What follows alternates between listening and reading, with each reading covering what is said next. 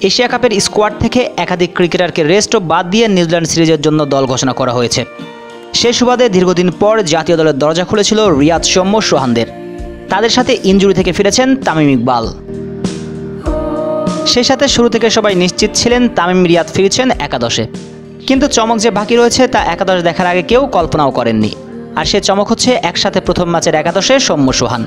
বলা যায় ঘরোয়া ক্রিকেটের পারফরমেন্সের পুরস্কার পেলেন সোহান। আর এমার্জিং কাপ থেকে মোটামুটি ধারাবাহিক পারফরমেন্সের জন্য কপাল খুলে সৌম্যর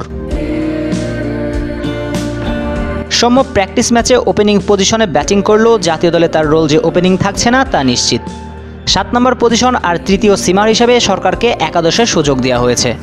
সে সাথে বলা যায় ব্যাটিংয়ে শামীম পাটোয়ারির রোলটা প্লে করতে হবে এই ক্রিকেটারকে সৌম্য বিশ্বকাপের আগে নিজেকে প্রমাণ করার আরও একটা সুযোগ পেয়েছেন। এই সিরিজে ভালো করলে চলে আসবেন বিশ্বকাপ ভাবনায়। একইভাবে নুরুল হাসান সোহানও চলে আসতে পারেন বিশ্বকাপ ভাবনায়। টিম কম্বিনেশনের জন্য জাতীয় দলের ওয়ানডে স্কোয়াডের বাইরে আছেন দীর্ঘদিন। মুশফিকের রেস্টের জন্য দলের সুযোগ হয়েছে প্রায় চোদ্দ মাস পর। সেই সুযোগকে কাজে লাগানোর সম্ভাবনা প্রবল কারণ এই ক্রিকেটার শেষ ডিপিএল থেকে রয়েছেন ছন্দে। সোহান শেষ আন্তর্জাতিক ওয়ানডে ম্যাচ খেলেন দুই হাজার বাইশ সালের ষোলোই জুলাই। অন্যদিকে সৌম্য শেষ ওয়ানডে ম্যাচ খেলেছেন দুই হাজার একুশ সালের ছাব্বিশ মার্চ। আর মাহমুদুল্লাহ ফিরলেন অর্ধ বছরের বেশি সময় পর।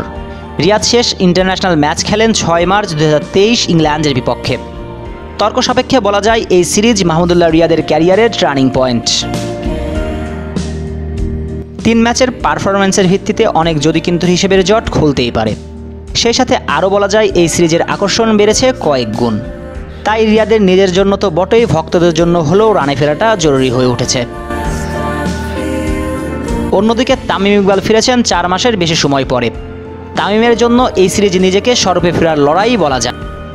কারণ বিশ্বকাপের স্কোয়াডে থাকবে নিশ্চিত, এখন ছন্দে ফিরলে স্বস্তিতে থাকবে টিম ম্যানেজমেন্ট। এখন দেখার বিষয়, সুযোগ কাজে লাগাতে পারেন কিনা Sohan সৌম্যরা। Sheikh Hasafuddaula Anik, sports and news.